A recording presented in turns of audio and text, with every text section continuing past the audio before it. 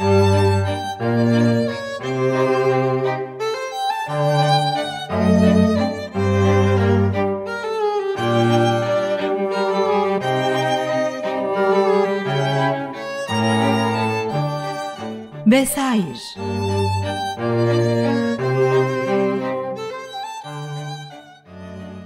Efendim iyi akşamlar.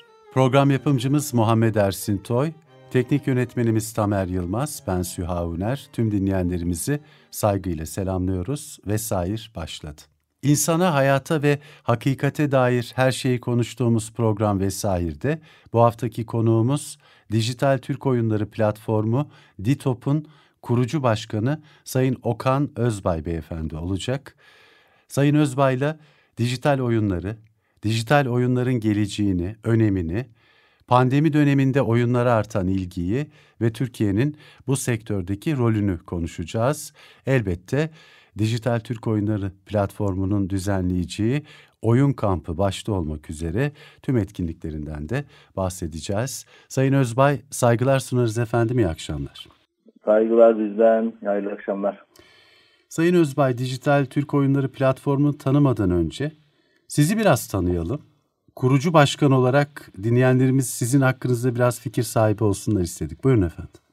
Aslında şöyle yapıyoruz normalde. E, okanözbay.com diye bir web sitem var benim. Evet. E, izle, dinleyenleri, izleyenleri bu tür programlarda e, okanözbay.com'a yönlendiriyoruz. Dijitalleşmenin getirdiği bir süreç olduğu için biz de kendimizi, dijital kimliğimizi orada yayınladık.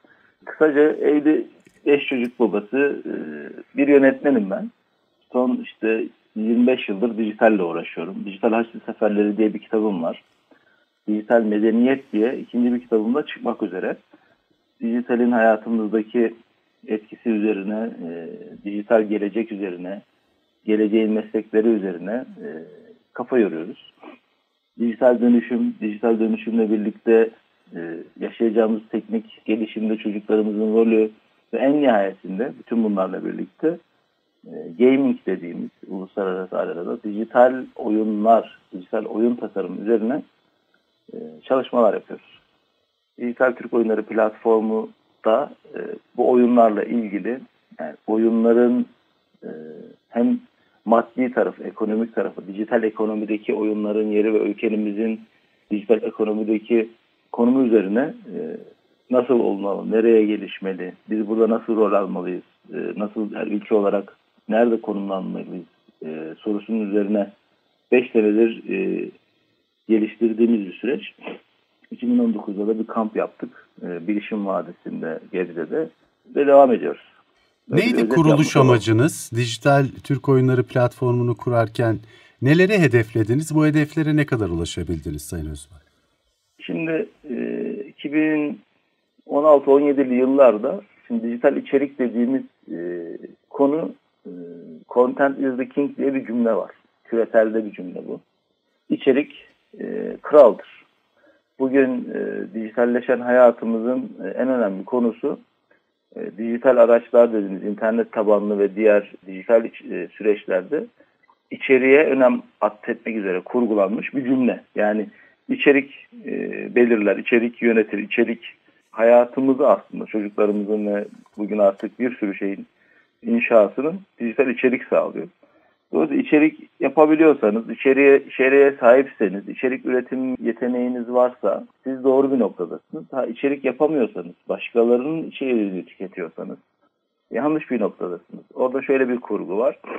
Dünyada sadece işte yani gıda sektöründen konuşalım. Siz gıdada eğer e, üretemiyorsanız, hep böyle dışarıdan e, gıda alıyorsanız, ithal ediyorsanız geçmiş olsun. Her an e, bağımlı ee, birilerinin yani ne kadar paranız olur olsun, ne kadar büyük paralar kazanıyor olursanız olun, üretemediğiniz şeyde e, bağımlı olursunuz. Dijital içerikte böyle bir şey. Yani dijital e, tabii biraz anlaması zor. Ya internetteki bilgiler olmasa, internet diye bir şey olmasa, biz internette e, aslında e, olmasak ne olur ki diye bir bakış açısı olabilir. Ama işte bu 10 sene önce tartışıldığında tam bağımsız Türkiye ideali için e, çok böyle ya olmazsa olmaz diye demeyebilirdik. Evet yani 10 sene önce bu kadar önemsemeyebilirdik. Yani bizim tam bağımsız ülke olmamız için dijital içerik üretmemiz e, çok da şart değil. Ne olacak canım biz işte ne güzel savunma sanayimiz var. İşte gıdayı kendimiz üretiyoruz. İşte e, doğal gazı da bulduk mis gibi. Oh yani şeyde de bağımsızız. Yavaş yavaş enerjide de bağımsızlaşıyoruz. E, güneşimiz var, rüzgarımız var. E, işte, iyiyiz iyiyiz biz e, bağımsızız diyebilirdik ama e, artık e, bu pandemiyle birlikte yaşadığımız dijital gelişim bize şeyi gösterdi açık açık. Yani e, dijital hayatın içerisindeki içerikleri biz üretmediğimiz zaman e, aslında bu e, diğerleri yetmiyor.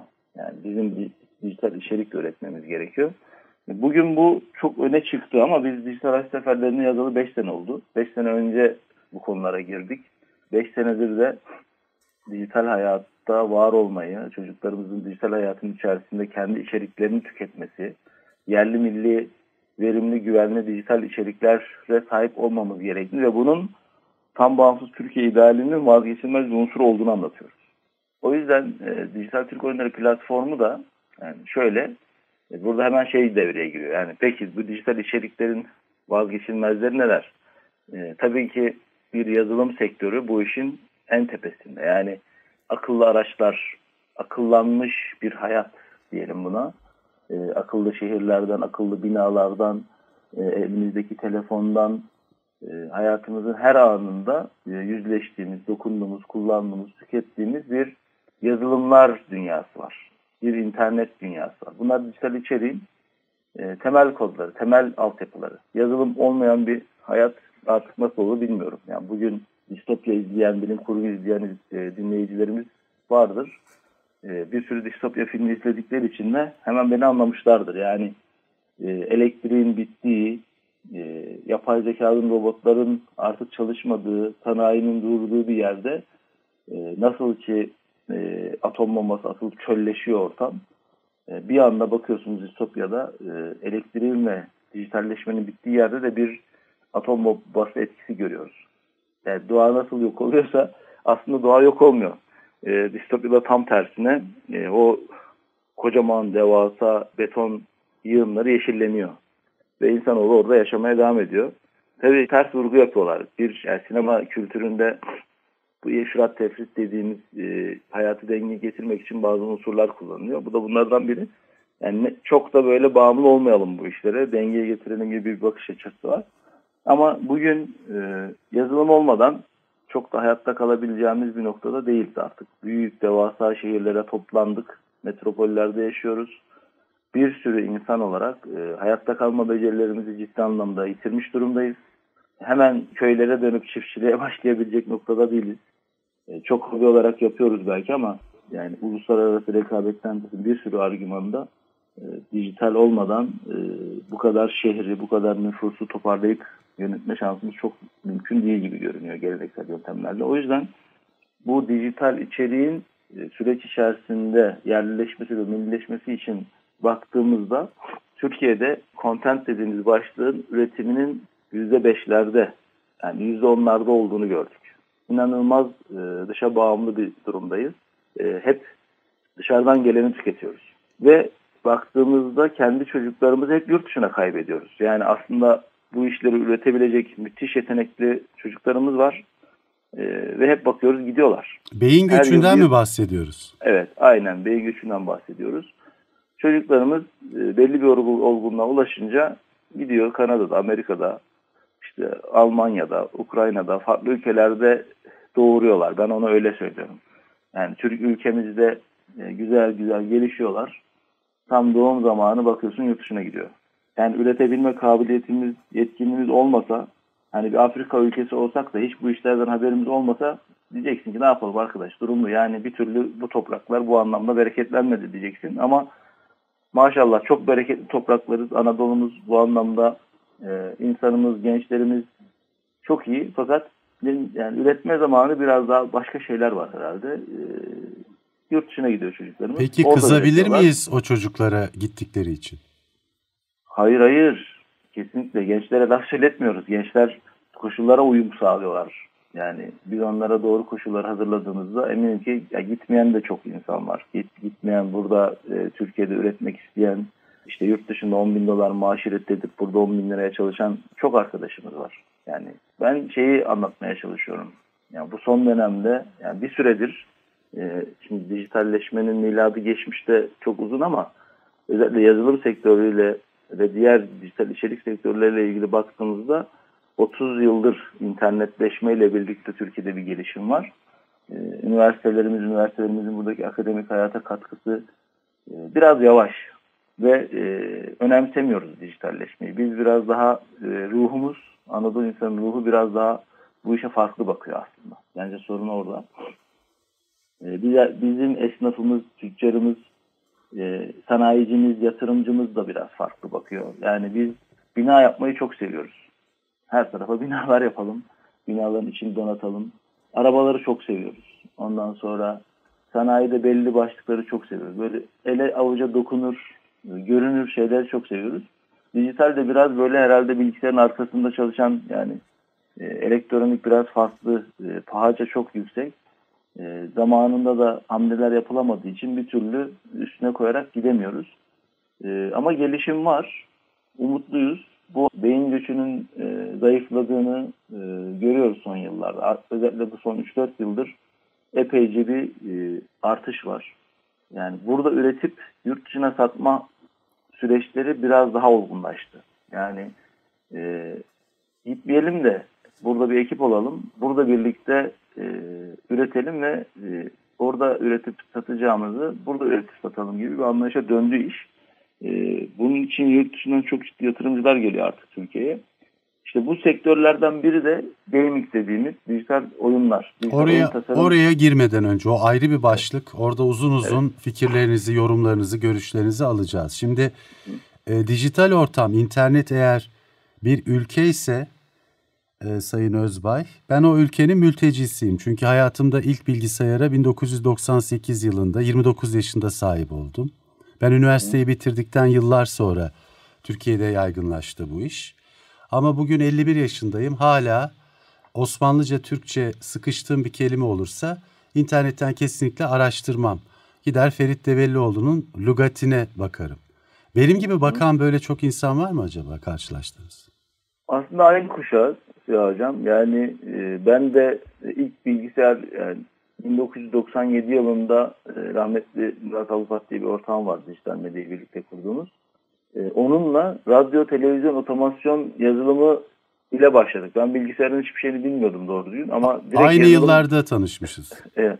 Yani yazılımcı bir adamla oturdum kendi mesleğimle ilgili medya süreçleriyle yani dijital broadcasting dediğimiz bir süreçte otomatikman mevzuya girdik ve o zamandan beri de işte bilgisayarla aşırı neşiriz. Yani o 486 denen makinaları e, görmüş kullanmıştın. İşte Pentium 100 denince o işte baba büyüksün falan. O dönemleri yakalamış birisiyim. Aynı kuşağız o yüzden. Biz mecburen yani dijital medya diye bir şirket kurunca şey olduk yani. Mecbur kaldık işin içinde. Aslında ben çok sinemayı, yönetmenliği hep tercih etmek istedim ama e, bu alan hep açık olduğu için, çok bu alana tevessül olmadığı için kendimizi bu tarafta bulduk aslında. E, bu da bir avantaj. İnsanların çok böyle e, ya ben anlamıyorum bu işlerden dediği bir yerde siz eğer şeyseniz e, biraz oraya kafanızı e, koyabiliyorsanız, emek koyabiliyorsanız, zaman koyabiliyorsanız, ısrar edebiliyorsanız otomatikman öne geçiyorsunuz. Bizimki de biraz öyle oldu mecburiyetten. E, ama e, aslında işte bizim kuşak dahil bizden e, yukarı doğru çıktığımızda bir sürü insan hiç farkında değil. O kadar iyi dijitalcileriz ki e, dünyada e, çok çok kötü örnekler var. Biz bir şekilde e, cep telefonuyla bir sürü iş çözebiliyoruz. Türkiye'deki mobil penetrasyon şu anda %87-89 bandında. Bu mü müthiş bir rakam. Yani Türkiye dünyanın birçok ülkesinden, batılı ülkelerde dahil çok çok iyi durumda e, bu dijital tüketimi konusunda. Yani dijitalin tüketiminde 80 ee, yaşındaki amcalarımız, abilerimiz, dedelerimiz bile e, çatır çatır bu işi kullanıyor. Yani dijital göçebe olmaları, e, bu işin mültecisi olmaları fark etmiyor. Mobilleşme ve mobil cihazlar üzerinden dijitalin tüketiminde dünya sıralamasında iyi bir noktadayız. Bizim derdimiz tüketim değil. Yani bu kadar iyi tüketebiliyorken, bu kadar çok işin içindeyken, saat bilimlerine baktığımızda, sosyal medya tüketimine baktığımızda, oyun tüketimine baktığımızda e, çok ciddi, çok böyle dünyada sıralama olarak hep üstlerdeyiz. Sorun bunun üretiminde. Yani e, iyi tüketicileriz ama iyi üreticiler değil. Sizi Daha çok iyi anladım. Türkler tarihin her döneminde, Osmanlı'da da teknolojiye çok meraklı bir toplumdur. En basit örneği Sirkeci Garı'dır. Sarayının bahçesini vermiştir padişah. Tren geçsin diye oradan. Düşünebiliyor musunuz? Ya da evet, kağıthane, evet. fesane yapılırken kağıthane deresi boyunda padişahın ailesinin kasırlarına yapılmıştır o e, kağıt üreten, fes üreten ne diyeyim atölyeler. Orada bir sıkıntı yok ama çok güzel ifade ettiniz. Kullanıyoruz.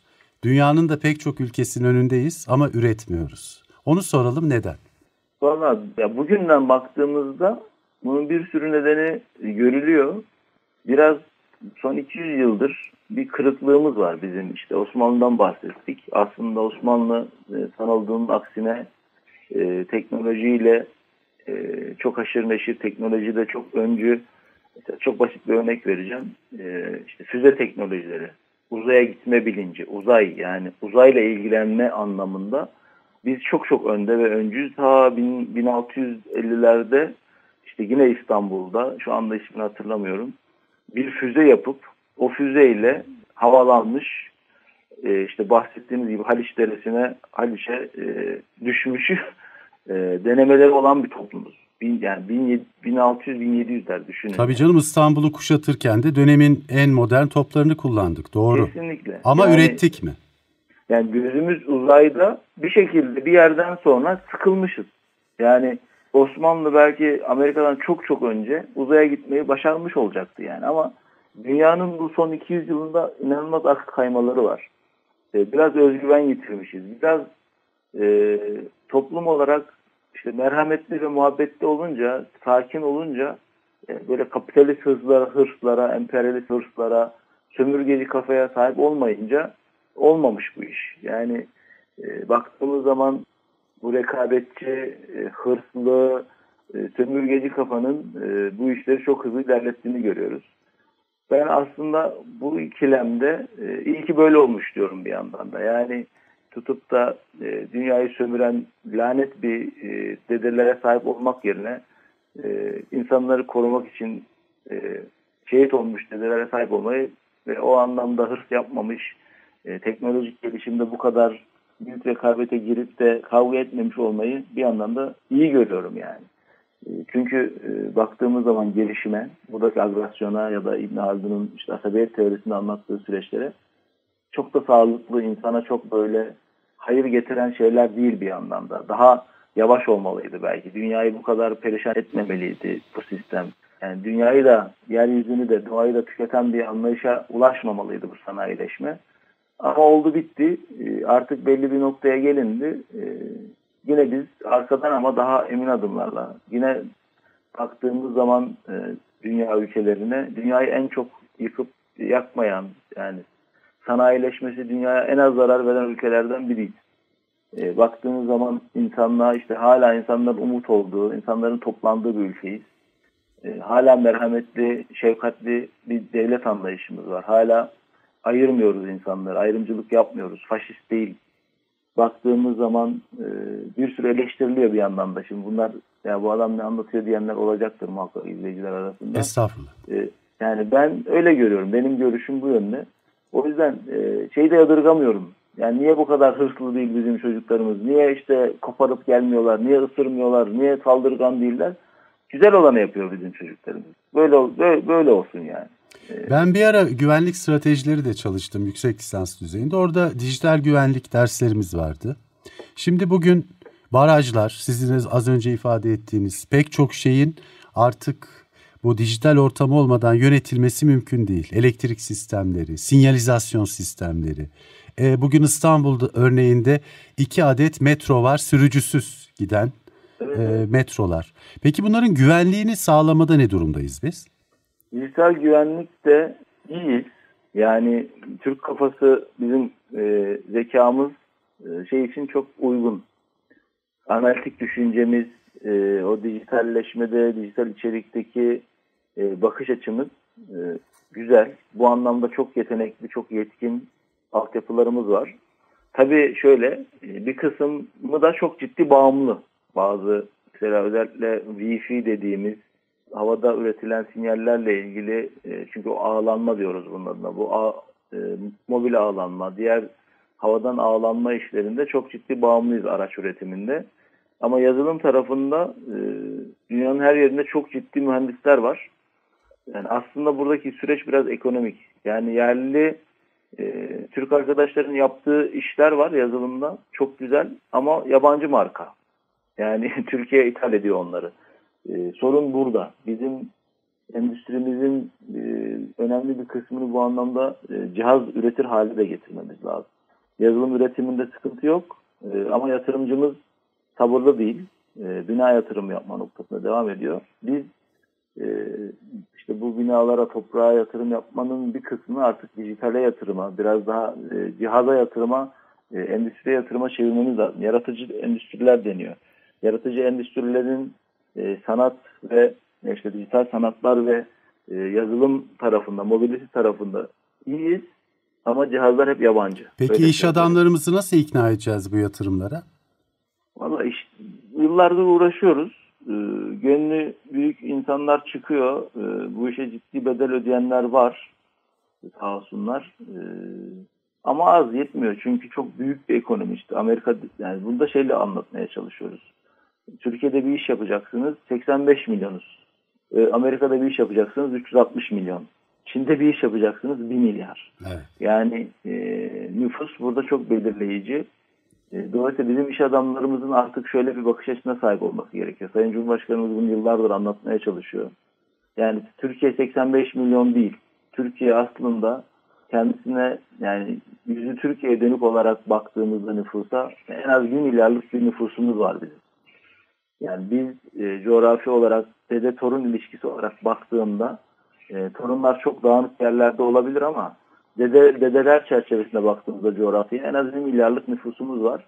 Bizim iş adamımızın da e, Türkiye'ye 1 milyar olarak bakması lazım ki motive olup o Çin'in, işte Hindistan'ın, Amerika'nın e, yüksek nüfuslarına karşı bu işte üretim ve satım noktasında e, motive olabilsin.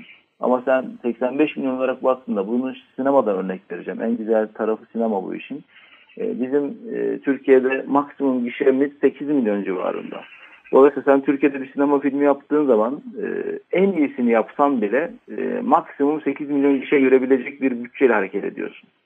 Maalesef. Ama Amerika'da 360 milyon nüfusun 160 milyonu izleyici yani çok iyi bir iş yaptığın zaman 150 milyon gişe görme şansın var. Dolayısıyla ona göre para harcıyorsun. O zaman da ne oluyor senin sineman? Ee, yani bu parayı 160 milyon, 150 milyon gişe görme ihtimali olan bir filme göre ona göre para harcayabiliyorsun. E, endüstrisi de kocaman büyüyor işin. E, Türkiye'de 8 milyon olarak baktığın zaman diyorsun ki en iyisini yapsam 8 milyon gişe var. 8 milyon gişenin hasılatı şu.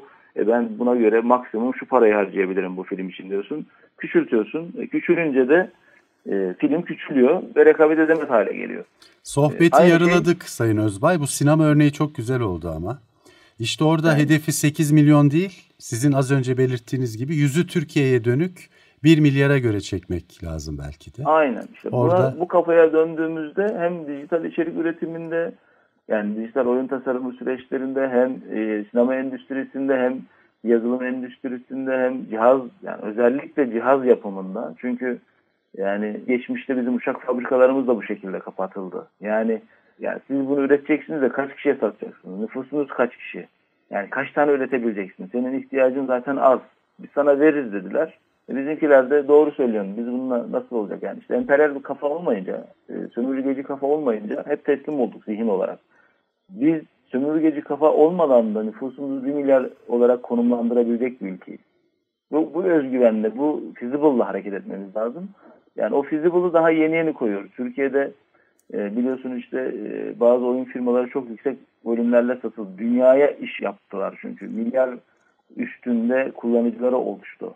E, öyle olunca ama tabii pazarın e, büyük pazar yine Amerika, yine Kanada, yine Avrupa, yine Çin, yani pazar yine oralardı. Uluslararası rekabet noktasında oyun sektöründe bunu başardık mesela. Fakat zaten Türkiye ile ilişki düzeyi çok yüksek olan ve hemen bizim ürettiklerimizi tükete, tüketmeye aday da çok şey var. Ülke var. Toplumlar nezdinde çok çok iyi Fakat tabii bu uluslararası ticari rekabette başka argümanlar da e, besliyor. Biraz böyle e, gümrük kapıları falan yüzümüze kapatılabiliyor.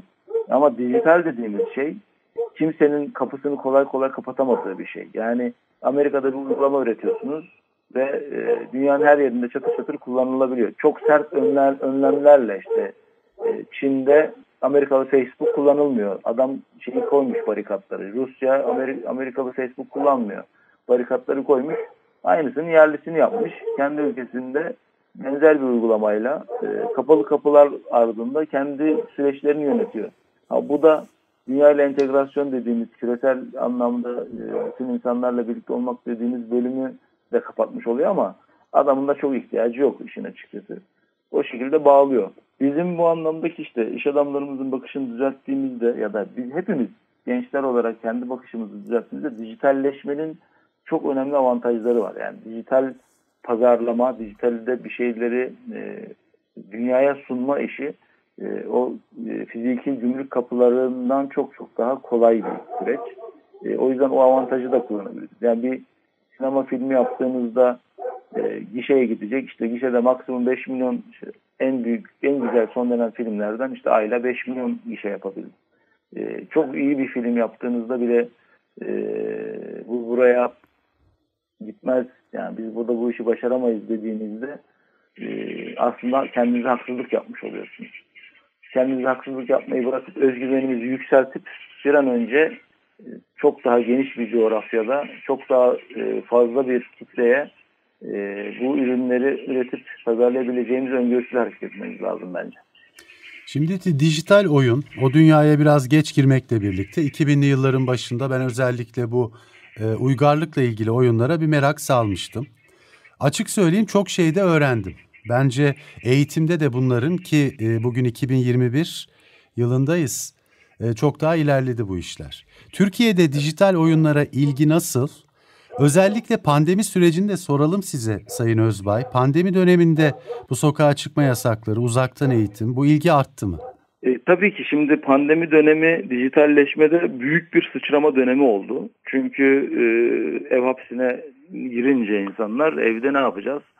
Mecburen e, işte internet e, ana gündem, işte e, bazı televizyon, dijital televizyon kanalları ana gündem oldu. İster istemez e, dijital tüketim inanılmaz arttı. Buna karşılık tabii yepyeni bu işin üretim tarafına da e, gündem oldu. Niye?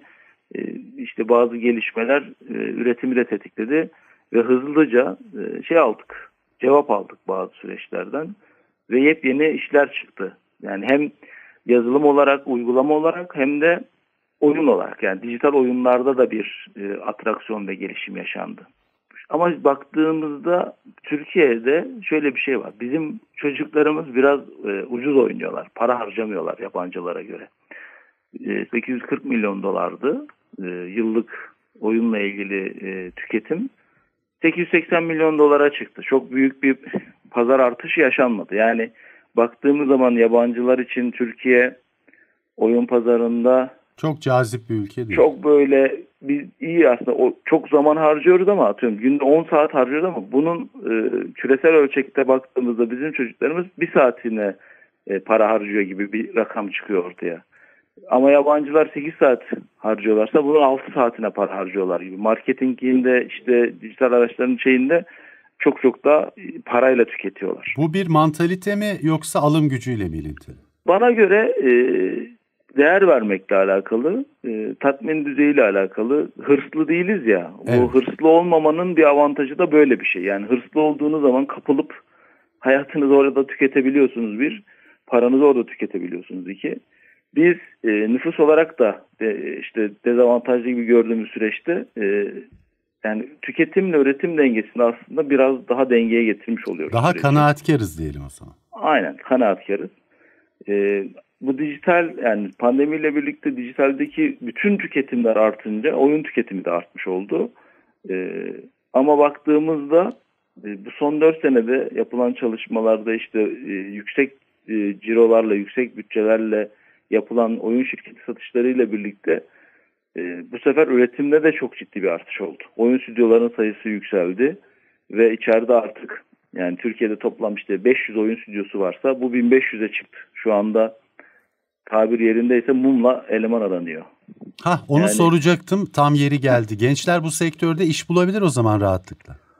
Ya şu anda e, animasyon, sinema, yani dijitalle dönük sinema, bilim kurgu tarafında ya da e, sinemanın hani böyle e, CGI diyoruz biz. Dijital yani bilgisayar tarafındaki üretimleri işte Motion Graphic, Mocap Studio, e, Unreal Engine, Unity ile üretilen işler yani söylemiş olayım not olarak. E, ve tabii ki oyun geliştirme, dijital oyun e, tasarımı ile ilgili her alan mumla adam arıyor. Yani ee, animasyon sektöründe işte TRT Çocuk mesela örnek olsun. TRT Çocuk'taki bir sürü çizgi film yapan firmadan arkadaşlarımız var. Amfiyap diye bir derneğimiz var bizim bu oyunda da e, partnerimiz. E, oyun sektörüne yani gaming alanına, dijital oyun tasarımına bir sürü eleman kaybettiler.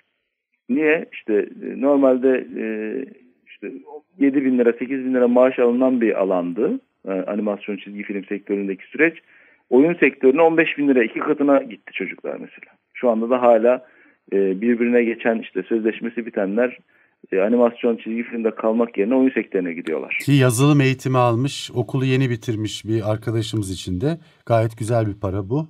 Bence Müthiş. tabii. Yani bugün hemen e, birinci sınıfta, ikinci sınıfta e, eğer e, yani bu işlerle ilgili olmasına da gerek yok. Mekatronik okuyor, mekatronikte, elektrik, elektronik okuyor. Çok iş şansı yoksa mesela ve bu alana biraz ilgiliyse arkadaşlarımız işte endüstriyel tasarım okuyor. Biraz çizim mizim yapıyor. E, sanatçı bir bakışı varsa direkt bu tarafa gelsinler yani. Hemen hızlıca e, eğitimlerinin bir kısmını bu tarafa yönlendirsinler. Daha üniversite bitmeden yani bu pilav daha çok su kaldırır. Bizim buradaki sektör gelişimize baktığımızda işte bizim kampları da düzenleme nedenimiz o hem Türkiye'nin hem küreselde çok ciddi personel ihtiyacı var.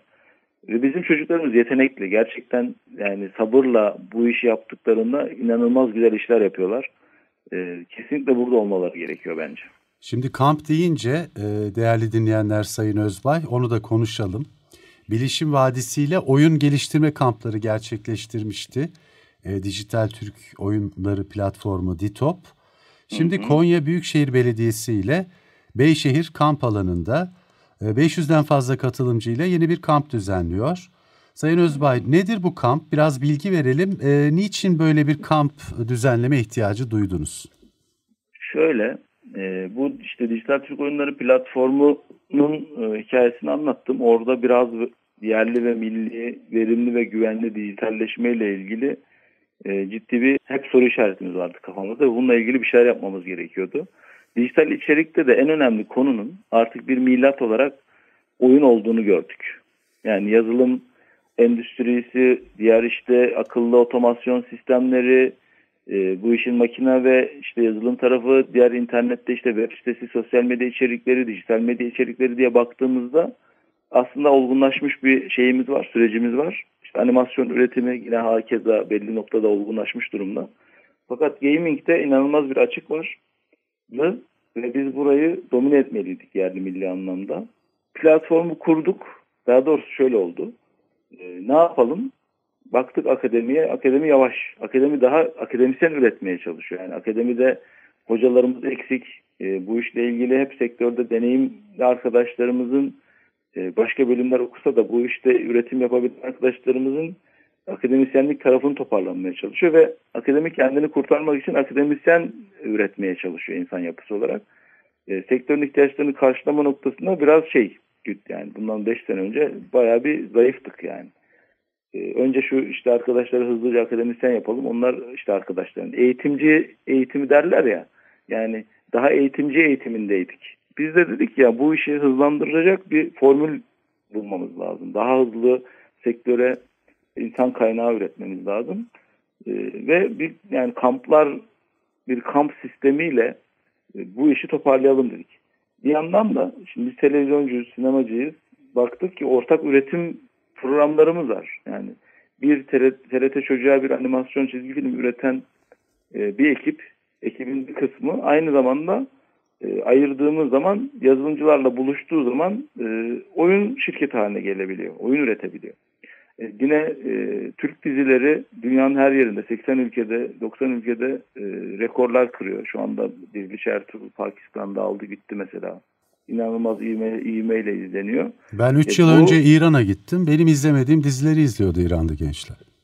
Mesela yani dolayısıyla e, dizi endüstrisi, sinema endüstrimiz de bu işin içine nasıl katılır diye e, orada da çok ciddi insan kaynağımız var e, melezleyelim düşüncesiyle yani birbirlerini itsin, birbirlerine e, kol kanat gelsin diye e, sinema, animasyon ve oyun sektörünü birleştiren bir şey çıkarttık. Şablon e, ortaya çıkarttık. Dijital Türk Oyunları platformunda bunun üzerine inşa ettik.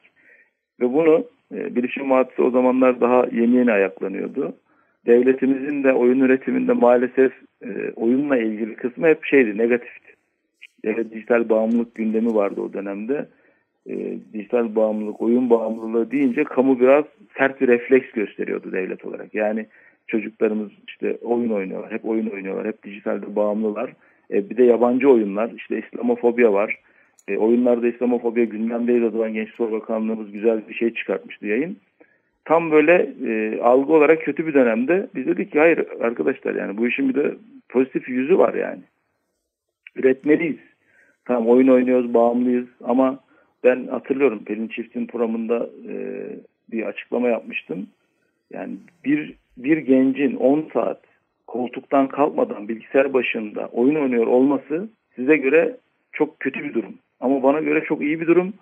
Çünkü 10 e, saat oyun oynayabilen, bir koltuğundan kalkmadan oyun oynayan bir, bir genç aynı zamanda 10 saat o koltuktan kalkmadan üretim de yapabilecek demektir.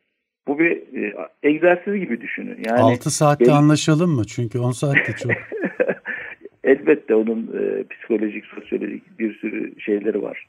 Bunlar tabii ki toparlandı. Daha sonra bunların makaleleri yazıldı, çizildi ama ben şey diye anlattım yani bunu. Çocuğunuzun bu potansiyelini yaşadığı bu e, süreci olumluya çevirebiliriz. Üretime çevirebiliriz. Aynen yani çünkü çok disiplinli bir üretim istiyor bu iş e, öyle lay lay lom işte eğlenerek hani diyoruz ya eğleneceğiz eğleneceğiz. Eğlenme tarafı biraz e, farklı. E, yani eğleniyoruz ama e, üretim daha disiplin istiyor ve o makine başında uzun süreler geçirebilme kabiliyeti yani biz de yani sinema yaptığımızda işte kurgu yani ben de 20 saat yetişmesi gereken işlerde e, 20 saat masadan kalkmadan üretim yaptığımız dönemler oldu yani. Yani mesela ee, şimdi buraya çok küçük bir parantez olarak girip çıkalım. Büyütmeyelim bu konuyu. Ben işte Yeni Kapı mitingleri dediğimiz e, mitinglerin de yönetmeniyim aynı zamanda.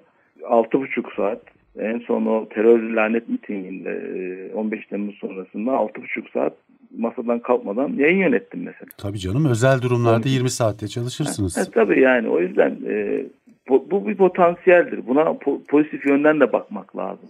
Yoksa Tabi dünyada işte Çin'de, Japonya'da, Kore'de makinenin başında ölen çocukların da fotoğraflarını gördük. Yani dalmış oyuna çocuk yemiyor, içmiyor, susuz kalıyor ve ölüyor. Bu da vaka yani. Bunları tabii bu işte dengede kalmakla ilgili bir şey söylemiştim. Biz işte Dijital Türk Oyunları platformunda bu potansiyeli üretime nasıl çeviririze odaklandık ve bilişim vadisinde sağ olsunlar e, Serdar Beylerle e, oyun kümelenmesini kamu adına yani devletimiz de artık bu işin bu tarafında e, olsun. Bilişim Vadisi'nde e, bir sürü e, ana akım işler var. İşte yapay zeka, robotik, açık kaynak kodu çok önemli bir konu yazılım sektöründe. Yani dijital üretim, dijital içerik üretiminde ana akslardan birini oyun haline getirdik. Ve bunu bir oyun kampıyla olgunlaştırdık. Dedik yani arkadaşlarımıza fikrimizi bir sunalım. Şimdi yani toparlayacağız yavaş yavaş birkaç dakika kaldı. Hemen Beyşehir kamp alanında Konya Büyükşehir Belediyesi ile birlikte e, biz 500'den fazla katılımcı dedik ama nedir durum? Ya şöyle e, talep yüksek, kaliteli bir kamp olacak katılımcılarımız açısından.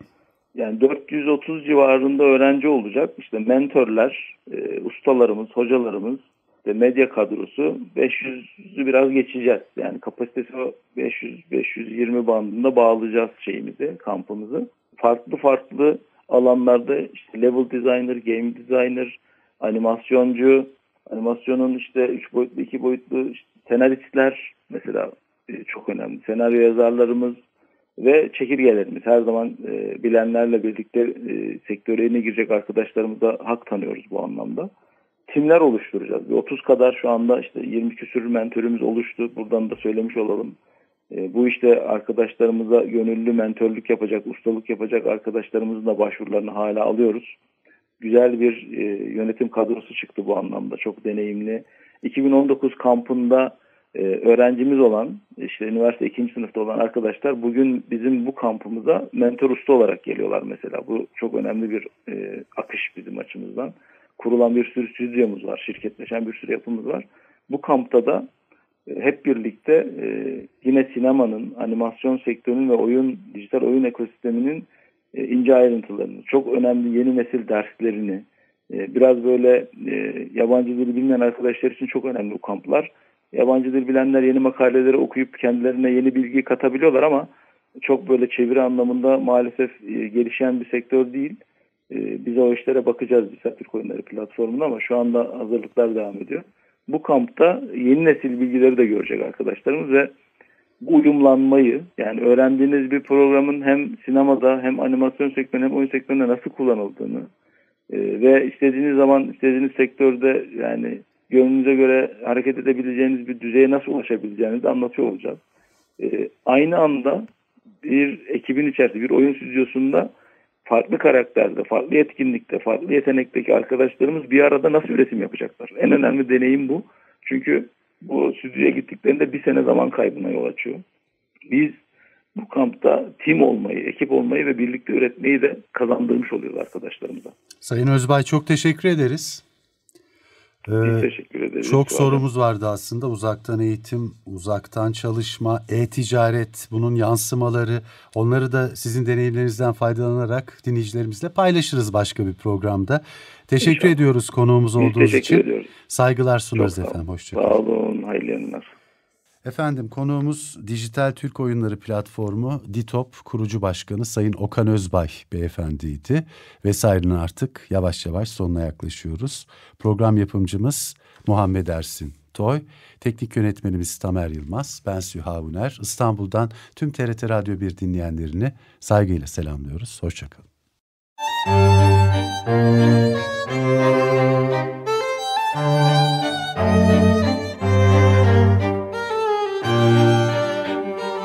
Vesair sona erdi.